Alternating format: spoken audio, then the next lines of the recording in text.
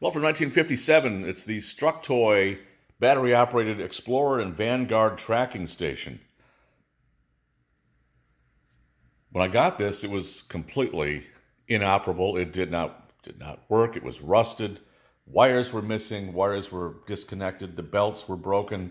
It was missing the radar dish and the light tower. I was able to make these with spare parts. The box is reproduction from Toy Tent, True Replica. That's their box business, True Replica, under the Toy Tent brand. They do a, an amazing job, not just the box, but original instructions as well. But anyway, this this toy was, well, still is badly rusted, but I was able to clean the battery contacts, reconnect any loose wires or disconnected wires inside. As I said, I recreated the dish and the tower, and the result is, well, it works.